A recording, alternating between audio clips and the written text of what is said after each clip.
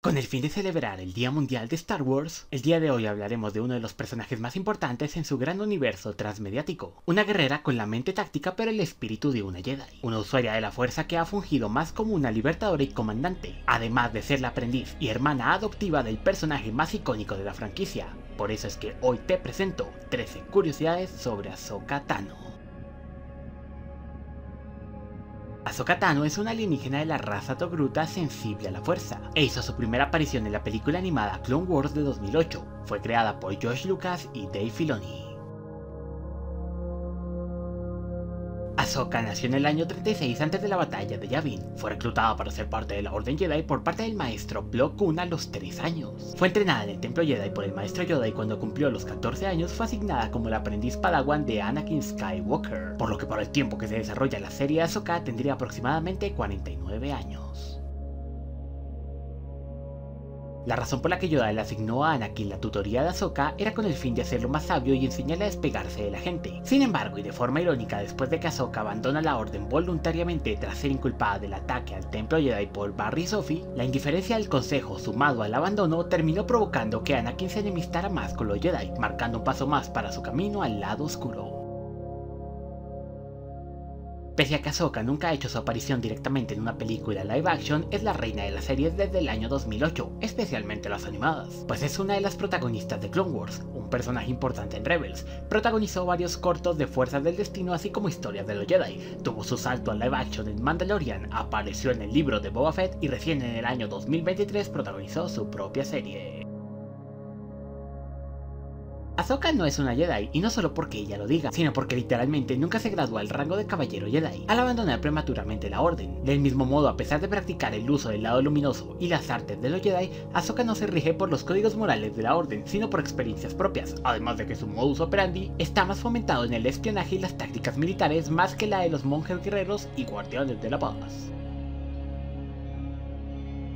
Ahsoka fue cronológicamente en pantalla la primera en demostrar cómo el lado oscuro afecta a los usuarios de la fuerza, pues cuando es infectada en Mortis por el hijo, manifestó los ojos amarillos y la piel grisácea. Sin embargo, posteriormente, el padre revela que su cuerpo sería consumido por el lado oscuro, pudriéndose rápidamente hasta la muerte, demostrando que cual narcótico ese poder es adictivo y mortal.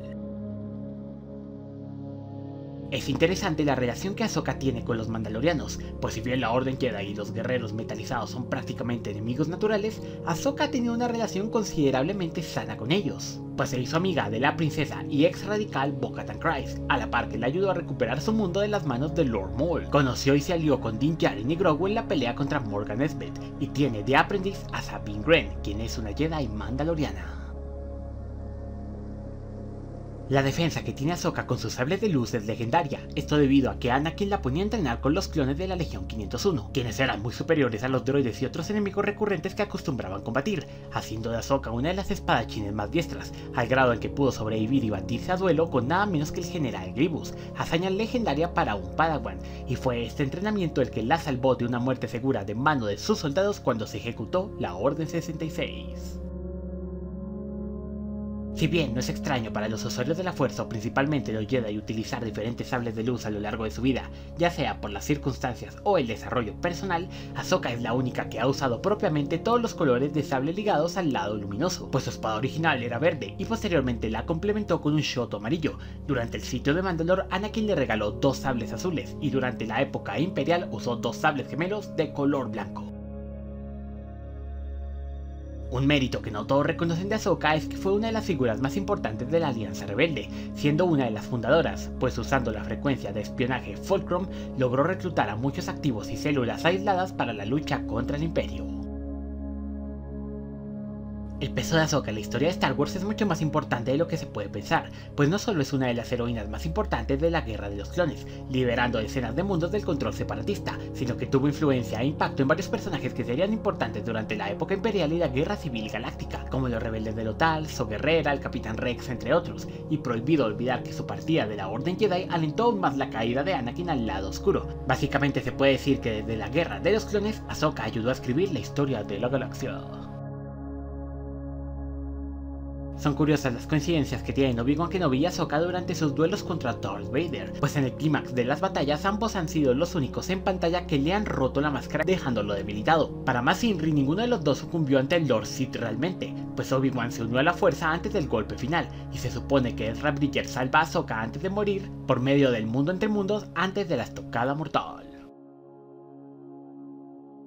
Finalmente, todas las actrices que han interpretado al personaje tanto en voz como en live action han trabajado en Marvel. Ashley Eckstein, que ha sido su voz en las adaptaciones animadas, le dio voz a Dagger y Shriek en Ultimate Spider-Man. Ariana Greenblatt, que la interpreta de joven, interpretó a una Gamora niña en Infinity War. Y finalmente Rosario Dawson, que la interpreta de adulta, interpretó a la enfermera Claire Temple en la serie de Los Defenders de Netflix, además de que le ha prestado su voz a Wonder Woman en el universo animado de DC.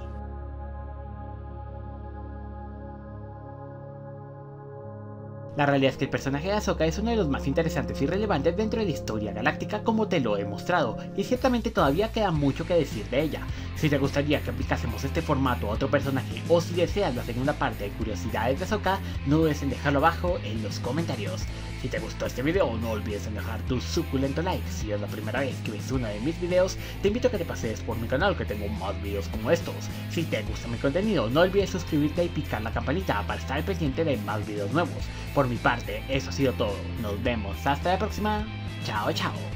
Transmisión finalizada.